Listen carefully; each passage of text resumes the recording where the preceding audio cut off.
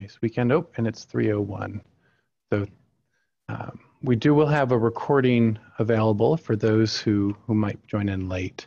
Um, but thank you for joining us. Um, and Linda, I'm going to turn it over to you. Thank you. Okay, thank you. So do you see my screen right now? Basically, I'm just showing the agenda for today. Yes, yes, we do. Great. Okay. So thanks, uh, Nathan, also uh, Corey for inviting me to present or facilitate or bring together this um, discussion today. It's really important to me and to everybody else who's presenting um, on today's panel. Uh, so we have three topics, and the second one has two speakers. So I'm going to just rush through uh, the intro so we have time for all of this content and Q&A at the end. So at the very beginning, I'll be discussing about data storage materiality, and especially in the context of audiovisual content, because then you have two problems when you're trying to preserve audiovisual content, which um, I'll describe it quickly. The second presentation is toward environmentally sustainable digital preservation. We'll have Keith Pendergrass and also Laura Alagna discussing this. And it's basically, it's kind of a, um, they're going to be drawing upon an article that's going to be published in the SAA Journal of the American Archivist this summer. So in a way, this is a preview of that article. One of their co-authors, Walker Sampson, I think is supposed to be listening in on the call, so he'll be available also for the Q&A at the end. Actually, in a way, the first two presentations here are going to be also, it's a preview of a presentation we're on a panel at the RBMS conference in June in Baltimore. So it's really exciting to have this quick um, run through before we present next month. And then the last uh, topic is going to be a presentation from Danielle Calle, who's an MA student in NYU's MIA program, and she had conducted a survey of various institutions on their environmental practices in the context of digital stewardship.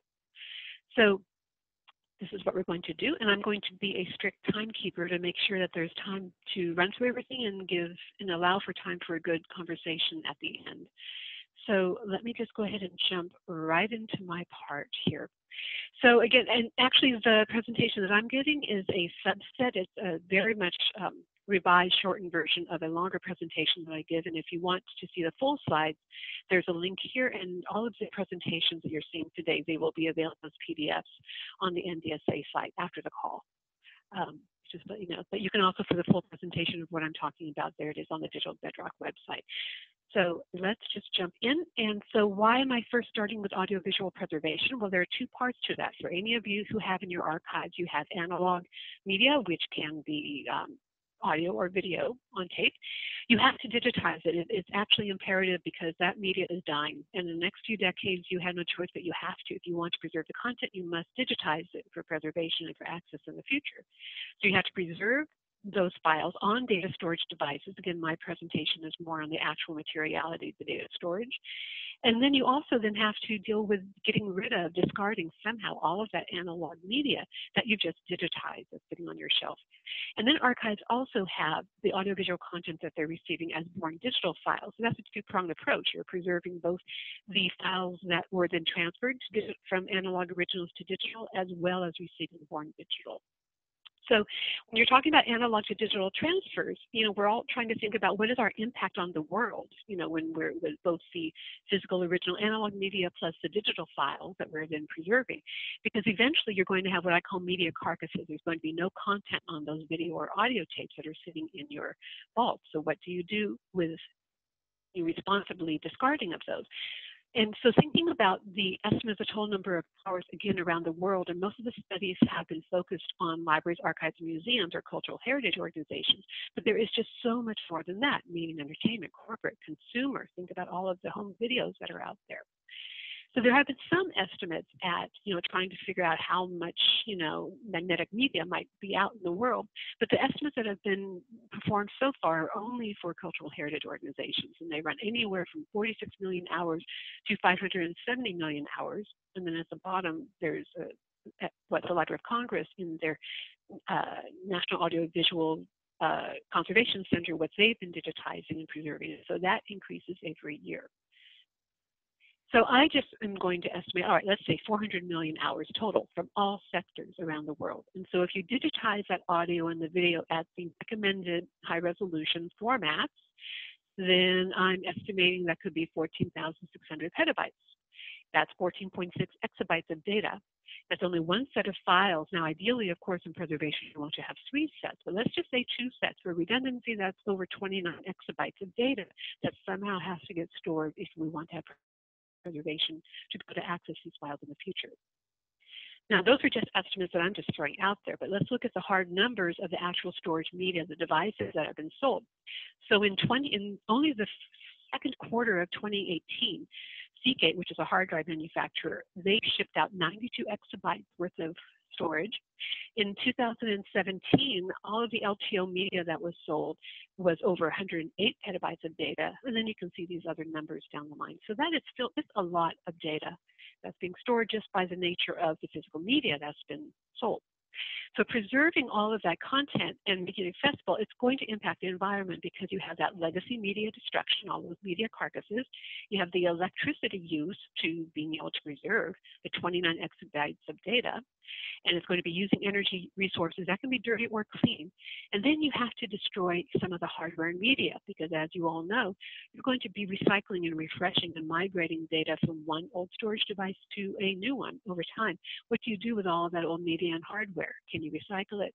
Is it just incinerated? Is it just dumped into a landfill? So earlier this month, just a couple weeks ago, I received this email from somebody who said that one of their companies needs to dispose of essentially 255 tons of videotapes. And they were aware that this could be an environmental hazard because the videotapes had chromium in it. So they're concerned about that contamination of the soil. They're assuming it's just going to go into a landfill and it's going to go into the water, the groundwater. And so we had a, a, discussion about what they can do with this, but that made me pause when I read this email. I thought, hmm, I'm assuming these are like VHS tapes that are just in a warehouse that have not been written to, but it is still a matter of disposing of media. This is a huge problem. All right, so I'm going to jump now. That's just like presenting about how much analog, you know, video and audio material which we might be stewards for in the future. Now let's talk about the materiality of the formats, the data storage and the magnetic media. So what those will contribute to, and I'm not going to be talking about the environment and in the air because I think that Keith and Laura might be talking about that. I'm talking about the toxic endangerment. What happens when all of this media goes into the ground? 200 million people are at risk to toxic, toxic exposure. Um, now, we all know about the usual suspects for toxin producing entities, refineries, chemical manufacturing, et cetera, but now we have e-waste incineration. Electronic products have lifespans usually for the initial owner of two to eight years. We're talking here about your servers, your hard drives, your data tape, your computers, your phones. But then they have second service life. If they're recycled, they can be wiped, they can then be sold or provided to other owners. So that could go maybe five to 20 years, but then they're eventually going to totally die. And so then what happens? Landfill, incineration, recycling, or exportation. What that means for exportation is where mainly Western companies send all of their e-waste as, as, their other trash to other countries. They export them to Asian underdeveloped countries. They're supposed to be for reuse or recycling, except for, and so there was a ban on this um, according to the, the Basel Convention. However, oftentimes they still put it under um, the bill of lading just as a secondhand goods, and it still gets shipped anywhere. And the hardware isn't really reused, it's just stripped for copper and other metals. So the metals that go into the devices, the data storage devices that we use, they're heavy and they're rare. Rare earth metals means they are rare because they're from the earth and you can't reproduce them.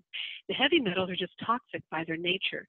So less than 1% of the rare earth metals are actually recycled just because they're built into these devices in a way that's very hard to extract them. Same with the heavy metals.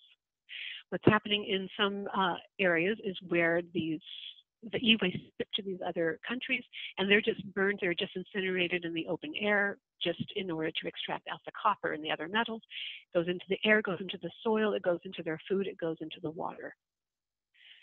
So splitting out all of these different things, I was just talking about rare and heavy earth metals. Now let's talk about the plastic, because of course plastic is with all of these devices. We all know about recycling our plastic. However, the plastics that are in computers and all these devices, they're a different formulation. So they have to be totally stripped out. If you have videotape as e-waste, so these are some of the things that could be potentially um, or the parts of it that could be potentially recycled. You have the plastic shell, but again, it's a different formulation than our regular plastic that we just go out and recycle in our recycling bins. It has metal screws and parts and it has the tape itself. So the base is mylar, the binder, it has binder in it. Then there's the magnetic particles, and it was that chromium oxide, which that email that I referred to before, that's what they're concerned about going into the landfill. I'm rushing through this quickly because I um, really want to cut to the chase and get to the end for conversation, and you can read the slides later.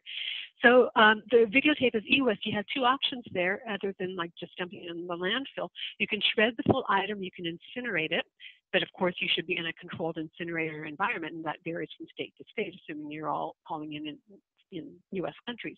You can disassemble the tape, which is very labor intensive. You can then mount the plastic cassette and the screws and shred the videotape, but then you still have to deal with disposing of that videotape that you've shredded. So two vendor uh, options uh, like Sims Recycling Solutions, which is a global firm. Um, I contacted the California facility here. They'll separate out all those parts, but it's hot, very expensive because it's labor intensive. And then California has very strict incinerator regulations, at least it's capped. Other states are maybe not so strong in their regulations. There's a company, GreenDisk in Washington State, that will actually separate out the parts, and they're shredding the videotape and they're just hanging on to it. So they have a warehouse that is filled with shredded videotape. Now let's go into the data storage. So because once you have that audio and the videotape is digitized, you still then have to store those digital files on something. So the, your options for storing it physical car carriers are spinning disk, which can be placed on servers or in hard drives in an enclosure like a desktop hard drive. You can have digital tape like LTO, you can have NAND, which is solid state, or flash. So oftentimes, and ideally, the best thing to do is you have a mix of the storage depending on the content or the file types. So with hierarchical storage management or HSM, so you might have, if you need it immediately, you have it on online. If it's nearline, we don't need it immediately, it could be taped in a robotic system, or if you just want to preserve it ongoing, you keep it offline. It doesn't need to be using all of that electricity. So the first thing I want to talk about is spinning disk. So this is an example of where it can be in a server. So you have a box, and then you have the drives that are in it. So they use a lot of electricity. Um, commonly now, what you'll want to use are helium-filled drives that I have there in bold because that reduces the energy used by 23% because helium is lighter than air. So it spins cooler because and, and without less friction because it's lighter than air or with less friction. It has a life expectancy, though you want to replace these every three to five years. That's the initial service life. And there are recyclable parts, but it is difficult to get the, um, those metals out of the media. Then we have external hard drives. Again, they're drives, but they're more in enclosures on your desktop. The electricity use could be low to medium um, because you could just turn it off when you're not using it. Same life expectancy, same potential recyclable parts because they're basically uh, the same drives. Well, actually I won't go into that, not quite, but almost. the same manufacturing uh, principles. So for recycling the spinning disk, if you wanted to do that, there are three hard drive manufacturers. There's Western Digital, which owns uh, HGST and Hitachi. We have Seagate, we have Toshiba. What I have up there are the um, the, their market share for uh, commonly right now, they do, they're very concerned about, you know, they know that they're using rare and heavy earth metals and those rare earth metals cannot be reproduced. So they're actually studying to try to figure out how can we recycle those. So, um, but they say that it's basically death by screws because it's just they have to it's too expensive for them to figure out the cost to disassemble and recycle all of those raw materials and it's cheaper just to do the simple shredding of it. They do recommend recycling through reuse but only for lower capacity hard drives not for the large ones. However just in the last like, week i learned about these recent efforts. So Dell Seagate, which is one of the hard drive manufacturers, and Teleplan, which is like a recycler, um, they've developed a method to scrape the rare earth metals and magnets from the hard drives to recycling them in new devices. So Dell Latitude 5000 notebook series are going to be using these recycled magnetic drives, which is really exciting. Um, they're also recycling gold from smartphones that will go into the notebook tablet hybrid. So this is really great. Um, there's also, I just read this news uh, like yesterday, um, and there are links here about there are two projects going on about how to recover the precious metals and plastics from end-of-life electronics. So there is a lot of work in the industry, and so we just need to keep pushing as a community to really keep pushing for this. Now, data storage tape. Okay, we have LTO, low medium use because if it's offline, it's just stored offline. You know, it's not taking up electricity. Uh, life expectancy, though, you want to replace it every two to three generations, and it does have potential recyclable parts, which are the metals, the plastics, except for you need to be able to get that magnetic material off of the mylar ribbon. So that is where um, there's been some R&D efforts uh, going on. Now, the spinning disk and tape, so now we're talking about electricity use, the total cost of ownership putting things on tape is 26 times less expensive. Uh, I'm sorry, putting it on spinning disk is 26 times more expensive than tape-based. That's because of electricity use, which is why folks are encouraged to split up how you're storing your, your data. You need to have something readily accessible, put it online on spinning disk. If you don't need access to those really large files, put it on tape. You know, you can mix it up. You don't have to do all of one or the other. Then we have SSDs, solid state drives, which have no moving parts. They run cooler. They um, don't, do not use rare earth metals, but they do have silicon and copper in them. If you're using the cloud, there's been a lot of discussions on the NDSA communities on using cloud storage, but that's just putting on somebody else's servers. So if you're going to do that, it's not just out of sight, out of mind. If you want to be really thoughtful about your environmental impact, then figure out what your cloud vendor's power source is. Is it dirty or is it clean? And I recommend that you go and you look at this Greenpeace report, Clicking Clean, which has scorecards and describes um, various cloud providers and how they're trying to use renewable energy. All right, I have two minutes left. I'm timing myself as well. So now let's get to the nitty gritty. What can you do to try to do this? And I'm not going to go into areas, I hope, that Keith and Laura will talk about. I'm really talking about physical stuff. So, but using less electricity, which means you're thinking about how you're storing the files and what media, it really helps the environment, plus it saves you money. So as I was just saying, store your really large and frequently accessed files on data tape, keep it offline if you're using LTO, don't migrate it every time a new generation comes out. You know, you can wait two or even three generations. We don't have to go into that, but um, if there's interest later on, I can explain what I mean by that. If you have a server room on site, then everybody thinks server rooms have to be really, really cold. They don't need to be anymore because of the technology. The servers run cooler. They, um, I mean, like the data center where we're located, the data center, the floor is like 72 degrees, um, which is which is pretty good um, turn off any unused servers, set the servers to go into inactive mode if you're not using them. If you are buying a server and if you are, have several applications, if you can virtualize them, so you have virtual servers, you know, virtual applications on one server. Uh, use the cloud for some, but you want to verify the provider's green record. And if you're using, I have data co-location center, but basically same thing. If you're on a university campus, go and talk to your IT folks. If you're storing your data with them, ask, go and give a tour you know, have them show you what their power source is, how cold is it, or how warm is it? You know, what is their green record? Try to, if you can, if you have that kind of control, purchase clean energy where it's possible, not coal generated, purchase hardware that is energy efficient, and purchase recycled devices. Uh, which means like for example what we do is we'll get a server box and in fact it's funny it still has the facebook barcode on it but what we do is we bought the box used recycled and then we put in new drives into it and so you don't need to upgrade servers by upgrading by buying a whole new drive, uh, server. Just upgrade the drives inside it. If you recycle by reuse, use vendors who don't ship overseas. And then also, if you're going to be recycling, go and talk to whoever's doing that for you and find out what do they mean by recycling. You know, are they shipping overseas? Are they incinerating? You know, be thoughtful, be um, be aware of how your actions are then impacting the people you're working with. What are they doing? How is that impacting the environment? All right, so that's the end of my talk. And again, the slides will be up online. So I'm going to stop my presentation. Let me see here, stop share. And I'm going to pass it over to Keith and to Laura.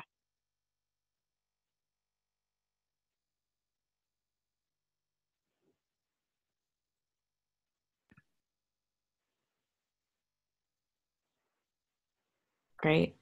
Thank you, Linda. Um, everybody can see Keith's slides, right? Yep. Good. Okay.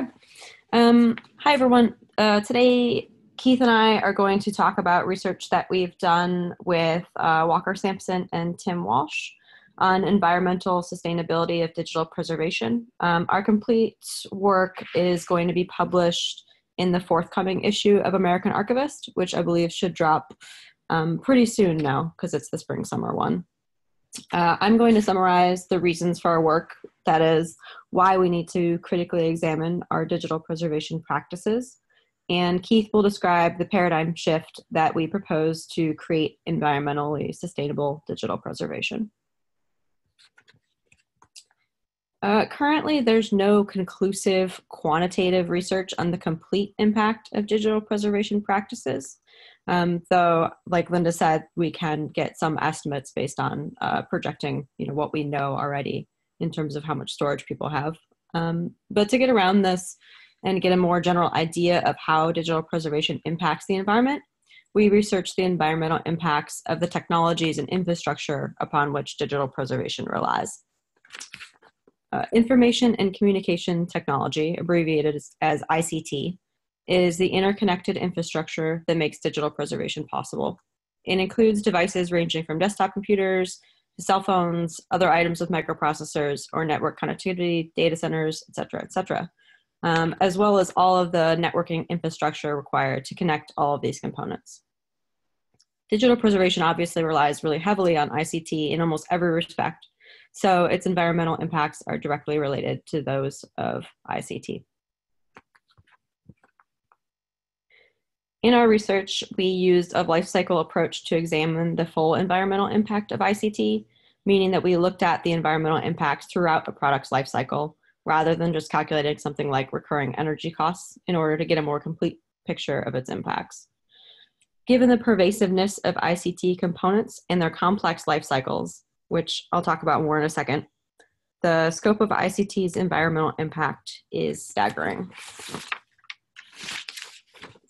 Um, Linda sort of went over this a little bit in her presentation, but um, I'll kind of walk us through the life cycle idea that we've looked at. Um, so, in our American Archivist paper, we go through a lot of statistics on the various ways in which ICT negatively impacts the environment. But um, today, I thought it'd be easier just to talk through one specific example.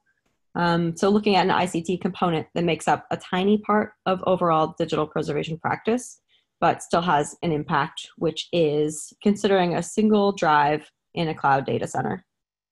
Um, the image on the slide shows a bauxite mine. Uh, bauxite is the world's main source of aluminum, which is one of the primary materials in many ICT components. Bauxite is generally strip mined, which is what this picture is showing, and requires an extremely energy intensive process to be refined into aluminum. So, even at the very beginning of its life, it's already caused decreases in biodiversity through habitat loss um, and has used up water and required the burning of fossil fuels all at the very beginning of the process. Next, the raw aluminum is shipped and used in manufacturing the hard drive, all of which again requires more water and more fossil fuels. Then it's shipped again to the data center and during its life requires electricity and cooling which is both water and energy intensive. Uh, eventually, at some point, it becomes obsolete and must be disposed of. Uh, Linda already touched on this a bit, but um, obviously, major data centers are going to probably responsibly dispose of their equipment, but uh, globally, only 20% of e waste is documented as collected and properly recycled, and the 80% remaining ends up in landfills or in toxic salvage yards in lower income countries. Um, despite how awful this all sounds, and I know at this point everybody's like, ooh, this is kind of a downer, um, we've thought about a lot of ways um, to reduce the impact of digital preservation. Um, so I'll go over briefly some ways to use current technologies to reduce its impact, um, a little bit of which Linda talked about today, but we've got a few more in here. To start with, you can implement practices that increase energy efficiency, such as prioritizing efficiency over performance in selecting new devices or systems, or following standard energy efficiency practices, such as powering off devices when they're not in use. Um, there's also some technologies such as uh, self-checksumming or self-healing file system ZFS or error correcting memory that can lead to greater efficiencies. Another way to reduce digital preservation's impact through technology is to schedule high energy and high bandwidth tasks for off peak times. Both the electricity grid and the telecommunications infrastructure are built to support peak load, which means that they can accommodate the highest load forecast for the year, even if most of the time a percentage of both are always idle. Not contributing to peak load helps to mitigate the need for new infrastructure and off-peak times may have a higher percentage of emission-free energy sources in use. Many of digital preservation's most taxing activities, such as transferring large amounts of data over networks or running fixity checks, can be scheduled for off-peak times, such as overnight or in an off-peak season. Um, we provide more details in our paper about this, so you can find out more about scheduling tasks there. Finally, uh, you can use clean energy sources where possible. This can range from advocating for the installation of clean energy devices at your organization to purchasing electricity or renewable energy certificates from clean energy generation sources or selecting vendor provided facilities and services powered by clean electricity. Um, all of these strategies that I've talked about can be implemented by anyone. Uh, very little advanced technical expertise would be required and can be done immediately, meaning you don't need to wait for some future miracle sustainable technology to increase your energy efficiency now.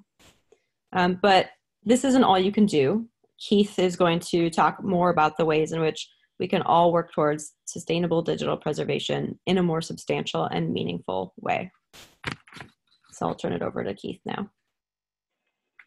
Hey, good afternoon, everybody. Um, so Linda and Laura exposed the environmental consequences of our digital preservation actions um, and provided some stopgap solutions that you can implement right now to reduce your impact. But the problem is larger than this. Cultural heritage organizations, or CHOs, globally preserve a significant amount of digital content, and this amount is growing rapidly. To address this scale and growth, as well as the negative impacts across the ITC component lifecycle, we need to move beyond reactive solutions to more deeply evaluate core digital preservation practices. We took a systems approach to this problem.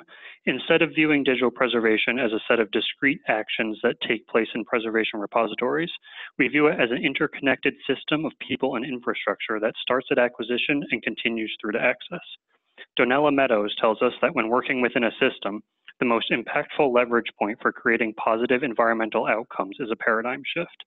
Taking this to digital preservation, we need a paradigm shift in our core practice to responsibly reduce the amount of content we preserve while also reducing the energy and material intensity of our practices.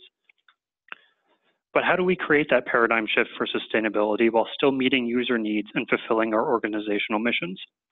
John Ehrenfeld provides us with a framework for thinking about sustainability focused paradigm shifts. Instead of just reducing the negative impacts of certain actions that result from the system, which he calls reducing unsustainability, you look at how you can change the system to meet needs in different ways. He calls this process creating sustainability. For the most part, our current digital preservation paradigm is management centric and focused on achieving optimal results. We often focus on how much we preserve, how well we do so, and how much the content is used. We think of success as improving these stats, more content, better management, more use.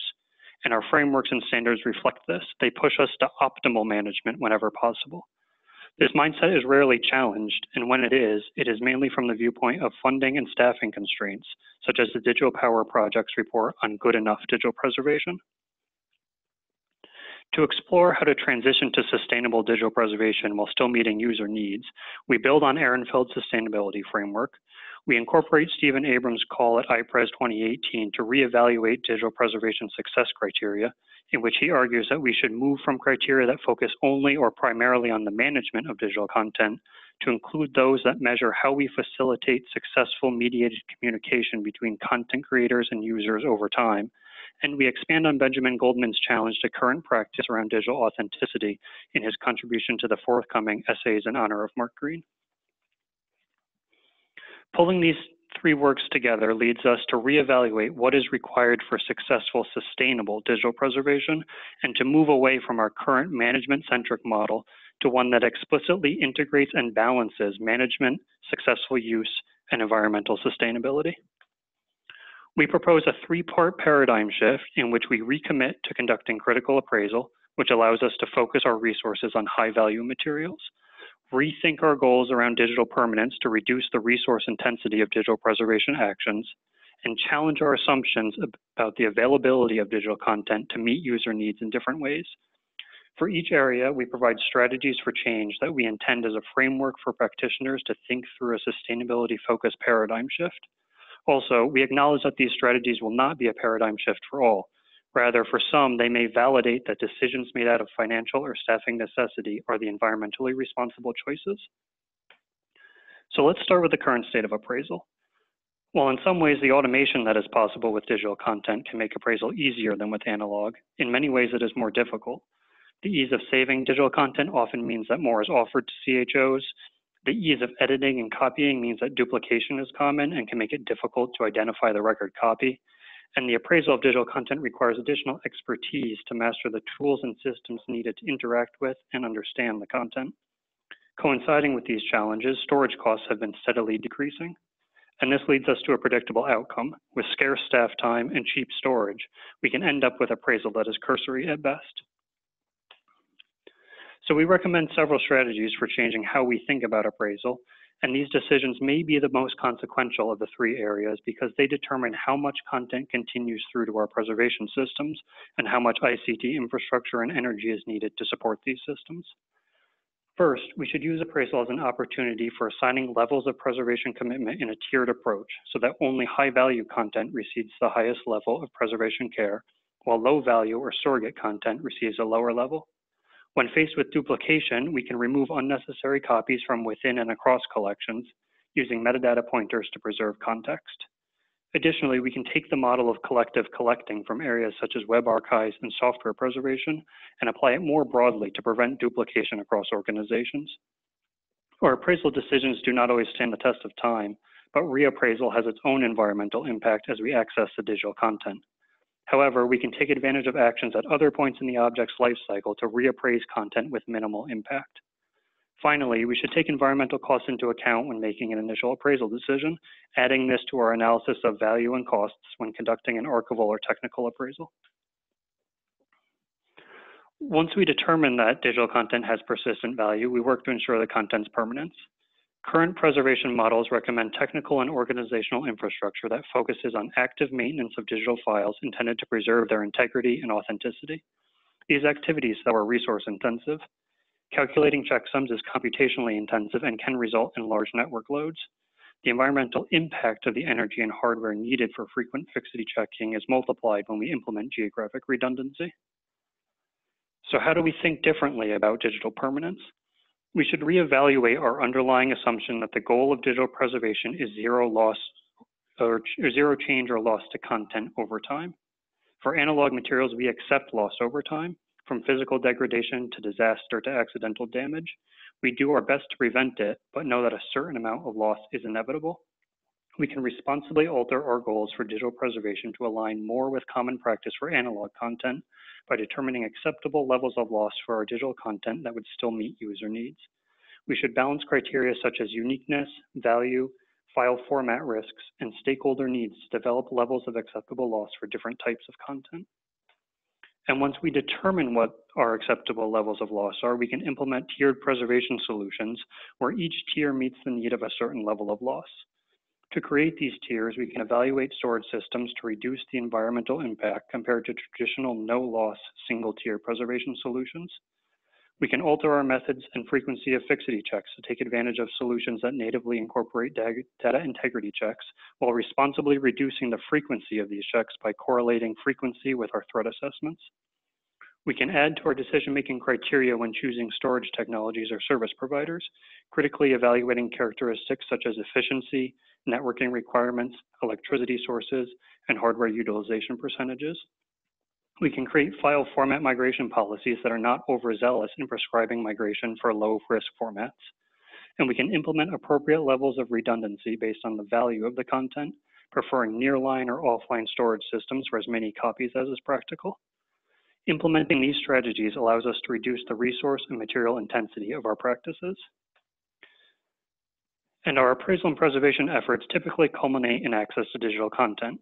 However, our profession spends much effort and resources on activities that do not necessarily meet the goal of successful use while having an adverse environmental impact. There's a continued focus on digitizing analog materials because of a general perception of value or interest, or simply because they are analog. This can contribute a substantial percentage to the overall storage footprint of a digital preservation repository, especially when we digitize audiovisual materials. And when we talk about the success of these projects, it's often in terms of how much content is now available digitally and not about whether our digitization efforts have facilitated successful use. Using systems that meet the expectation of instant delivery of digital content increases the negative impact of these actions by requiring always on infrastructure. To have successful use with lower environmental impact, we ought to abandon the notion of mass digitization of, or digitization based on undocumented value. Instead, we should aim to digitize specific items when requested by users or those that are at risk from a preservation perspective. We should also move away from the default of instant delivery. By building in some delay, we can design our delivery infrastructure using nearline instead of online storage. And by building in slightly more delay, we can move to a model where we create access copies on demand instead of creating them on ingest. This avoids the need to store and checksum them while awaiting a potential future access request. These strategies, though, all hinge on good discoverability of our content and documentation of our processes. We must ensure that our content is easy to find and request, and that the processes for on-demand digitization and delivery are clearly articulated. Otherwise, we risk unnecessary researcher trips to the reading room to view content that could have been digitized, as well as potential dissatisfaction with delayed delivery simply through a lack of understanding of the process. Changing our availability paradigm allows us to reduce the impact of our preservation and delivery infrastructures while likely increasing successful use through improved discoverability. As with appraisal and permanence, when we integrate environmental sustainability into existing decision-making criteria, we often maintain or improve our users' experiences while reducing financial, staffing, and environmental costs. He's five-minute so, warning. Oh, look at this. Thanks, Linda. Uh, so we hope that you will engage further with our ideas by reading our upcoming article in the American Archivist that goes into more detail than we have today on our paradigm shift framework and the supporting literature. The scientifically robust causal links between ICT infrastructure on which digital preservation relies and climate change and biodiversity loss give us an obligation to critically evaluate our practices. We look forward to starting this discussion and getting to work on creating environmentally sustainable digital preservation. Thank you. Okay, thank you, Keith. Thank you, Laura. Great. Okay, so now we're going to turn over to Danielle, the last presenter, who will present uh, the results of a survey that she conducted.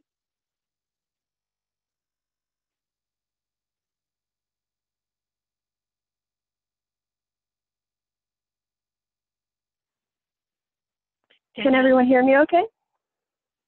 Yeah, there yep. you are. Okay, great. Um, so good afternoon to everyone, and thank you so much for having me on the call. My name is Daniela Calle, and I'm, an, I'm a student in the MIAP program at NYU. Um, today I'm going to go briefly over the results of a survey I conducted in February titled Exploring the Environmental Impact of Digital Archives. And digital archives here are meant to be a catch-all term for those institutions who are in the business of collecting digitally. Um, the survey was disseminated to the listservs of three professional organizations, AMIA, PASIG, and NDSA. So a thank you to all of those who participated and might be participating in today's call.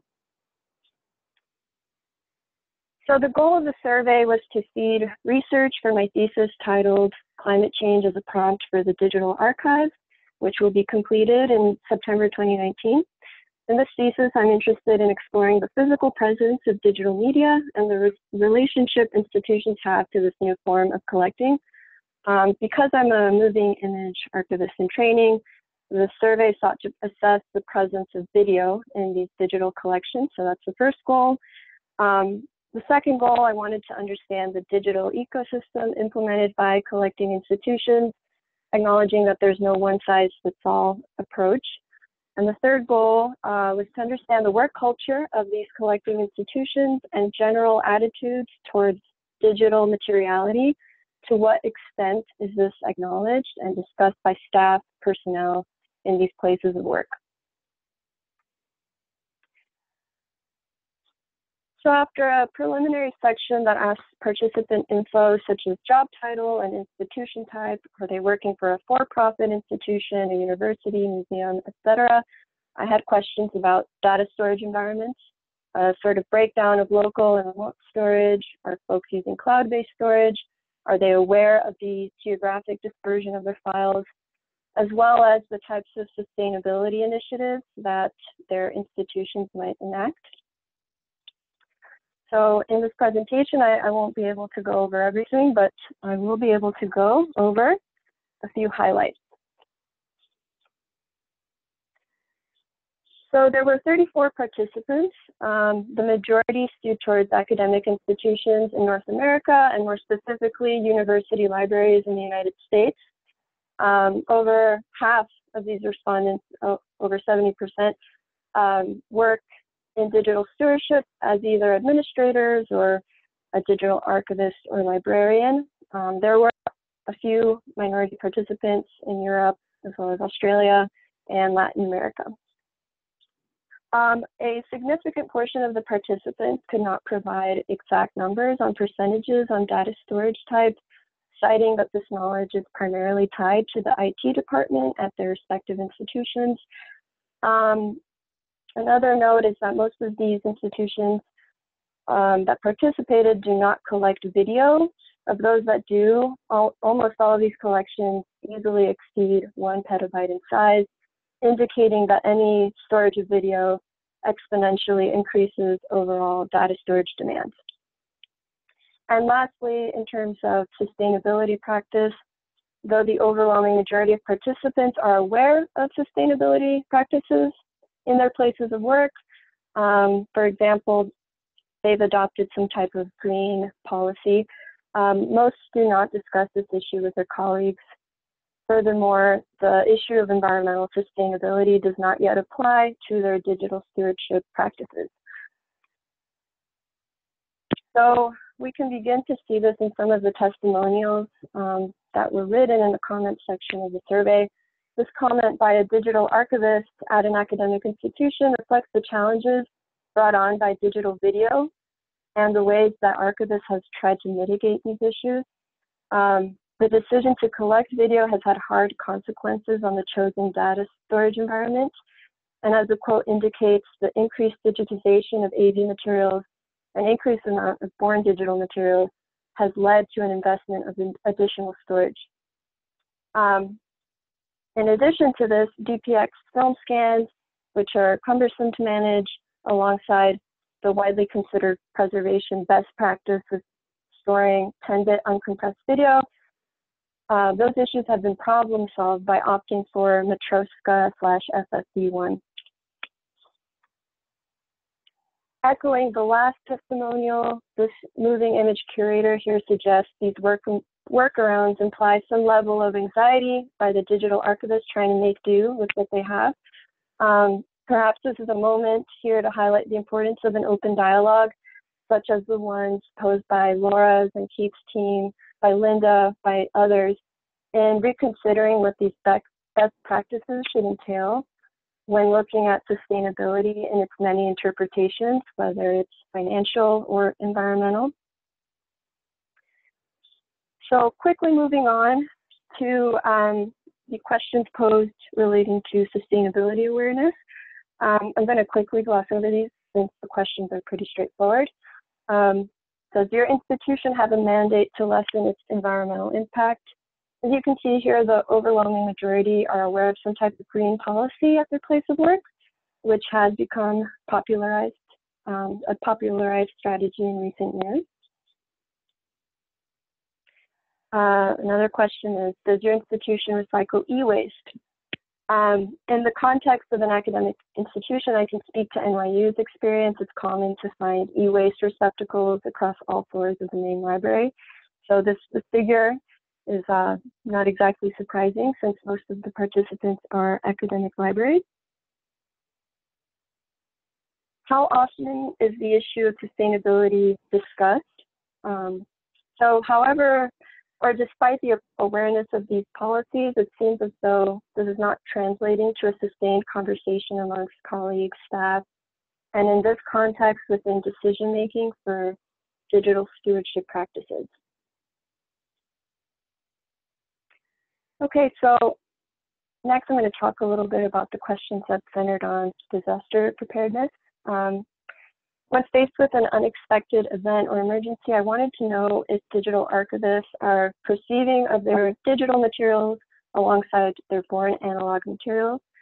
Um, and I thought a good way to do this was to discuss disaster preparedness plans. So the first question here, does your institution DP plan include a section on data disaster recovery? and most claim that yes, um, over 50%. And the second one, does the disaster preparedness plan include a strategy to restore or recycle e-waste created by a catastrophic event? And most said no, over 60%. Um, Danielle, just three yes. minutes more. Okay, thank you. Um, the next question, are redundant copies kept off-site? In some cases, though not the majority, as you can see here, participants admitted to not having adequate geographic dispersion. This was called from the comment section um, with all redundant copies stored on campus grounds.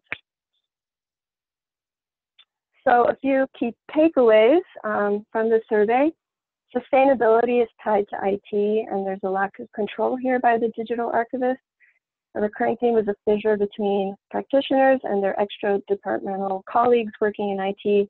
One technical analyst at an academic institution cited the need for cross-departmental collaboration, stating, we are barely able to maintain in-house upkeep and need cooperation with University Computing Center and a growing awareness of need for copies outside of institutions' premises.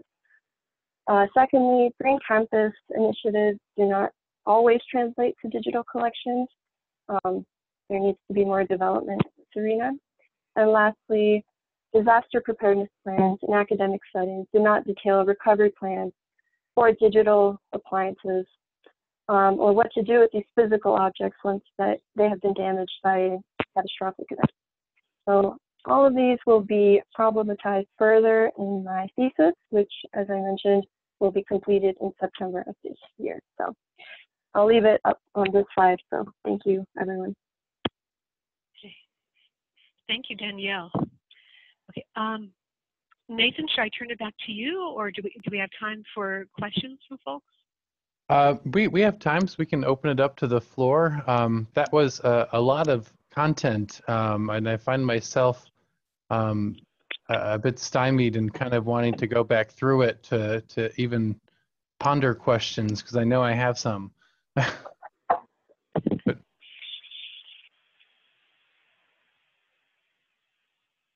well, we will be sent, uh, you know, providing the PDFs of all of our presentations, and I guess they'll be put up to the the Google shared drive. Nathan, is that where they'll go? Um, I will link them from the agenda notes document. Um, that's where they will be uh, linked from um, directly on this uh, the agenda notes document, and I will right now um, just put a uh, drop a link to that in the chat just in case anyone doesn't have it handy.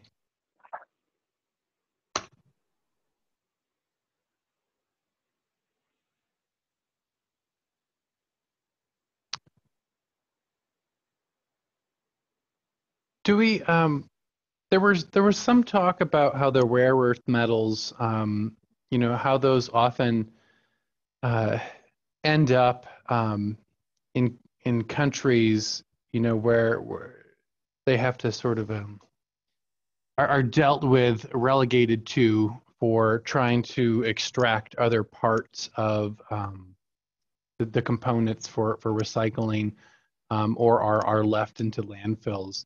Do we have any quantitative or qualitative uh, data um, or idea about the number of human lives impacted um, directly through those activities. You talked a bit, Linda, about you know the environmental impact and how that stretches. But I mean, um, you know, just this and other areas. You know, there's a lot of just horrible stuff happening, and, you know, Laura showed that uh, image for the bauxite mine. Um, there's a lot of that kind of thing that happens. Is there any idea of the number of human lives of lives affected without going too too meta? Um, because you really could for the environmental impact aspect. Mm-hmm. Right. Um, okay, before I jump in on this, Laura or Keith, did you have anything to say about it, uh, about that question?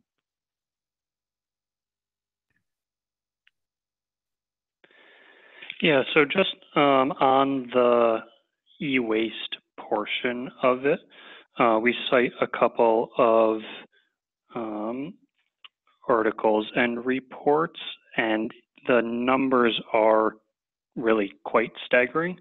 Um, so the essentially worldwide, it was listed as many thousands.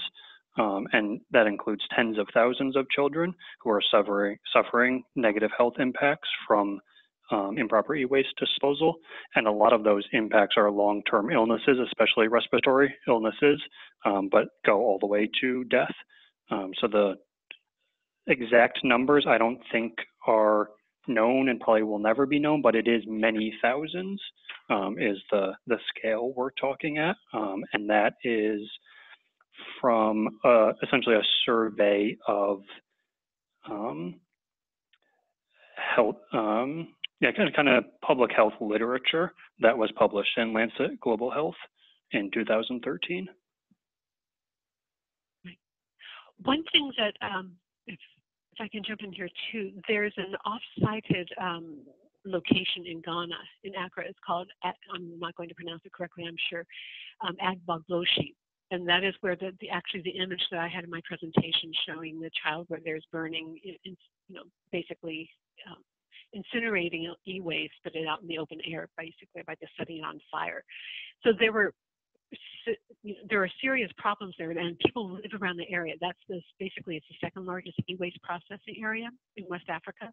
So a lot of e-waste was going there. It is all burned out in the open air like that, and obviously it was going down into the groundwater. It was going down. People are, had their chickens in the area. They had they're growing their vegetables, their food. They live in like a slum area right on the outskirts, right, right around the perimeter of that. And so um, obviously the, the lead levels there were astronomical. And so this was a big health hazard. And so there was a lot of Western press came in there. They did, you know, images, they did video, they documented it. But then what happened was there were like rival groups there in the area, and they took that as an excuse where they had to raze the slum.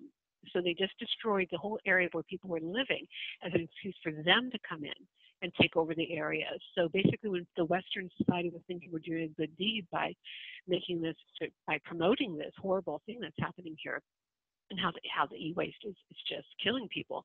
It was just used for as a political tool for others just to take over and kick out these other people who were there. So now, and so people said, okay, gosh, we shouldn't have been doing that. We don't understand. We Westerners, we don't understand the politics of areas. Now, though, there have been reports coming out again where it's worse. It's like where people, again, in their food, there's high levels of lead and toxins, and they're eating it, and it's damaging obviously their health and it's killing them. But it gets more, it becomes more complicated when you look at it in the global scale of, um, you know, global socio-political, you know, economic basis uh, I think we just have to be really careful in how we analyze this data that, that we're receiving. But there was the one from the, the UN, they, they do say there are 200 million people who are at risk for, I'm just looking at my slide again, uh, for toxic endangerment. So we're not even talking about the air, we're talking about the toxins.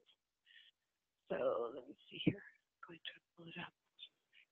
Right. 200 million people are at risk to toxic exposure. The World Health Organization estimates that 23% of the deaths uh, in the developing world are attributable to environmental factors.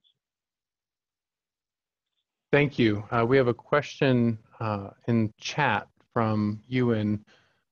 Do you have any information on the size of digital preservation's impact in proportion to the rest of the ICT industry?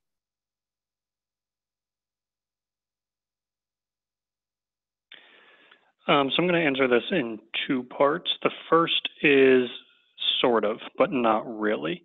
Um, so we tried to look, we thought about seeing if we could um, estimate it in some way, but it just, the, the complexities of um, essentially digital preservation workflows, the systems, the diversity of implementations makes it very difficult to try to get some sort of impact figure, whether that's a carbon equivalent per gigabyte or some other environmental impact figure. So what we ended up doing in the paper is we looked at the Beyond the Repository survey report and NDSA's 2017 Fixity survey report, and we took uh, looked at the the data behind that and essentially got what we think is a conservative per respondent organization figure for how much they collect. We then took that to OCLC's estimated count for libraries and museums in 2016, um, looking at there's approximately 84,000 academic, national, and special libraries and 79,500 museums globally. So when you take those two together, we looked at this is uh, admittedly not robust, but just kind of gives you an idea of what the un one set, unique set of content could be, and it's 5,750 petabytes. Um, so then you can compare that to Cisco Systems estimate of 2016 global data storage, which is 2 million petabytes. So even when you build in redundancy, we're probably looking at somewhere maybe around 1% of global storage is through um, CHOs and preservation.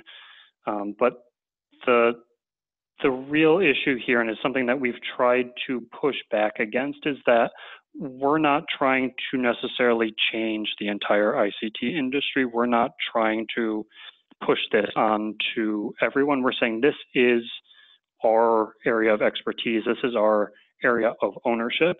So we should step forward and take ownership of this impact, regardless of whether or not um, it can be quantified down to a certain figure and regardless of what its relative scale is to other emitters or other um, major impactors.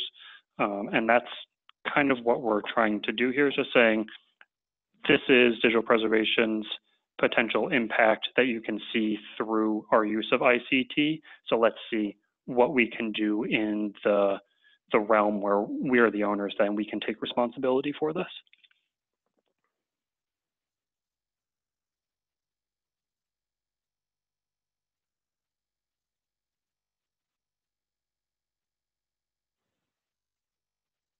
And what, just one more quick thing to add on this um, is that essentially we realize that this is not ideal.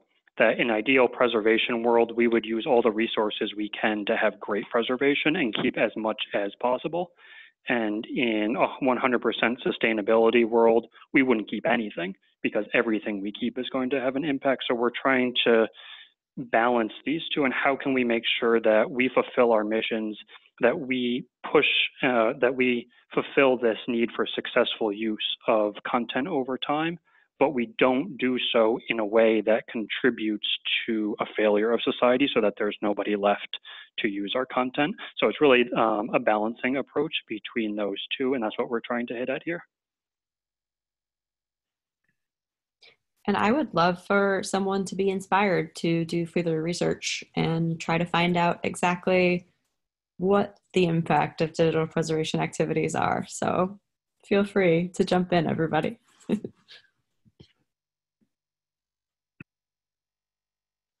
well, I'm looking really forward to reading the full article. And, you know, first step might be trying to figure out what is it that we have to measure and, and start to, to capture within our institutions. And, you know, is there a way we can try to uh, make that something that we're doing regularly so that these can be more easily quantified because they're probably not even always easy to quantify these things.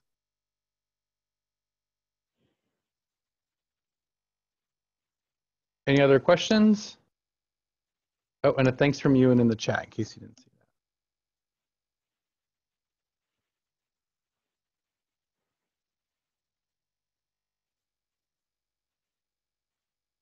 Well, we are right up um, to the hour. Um, we have our next meeting in June, which is a software toolkit show and tell.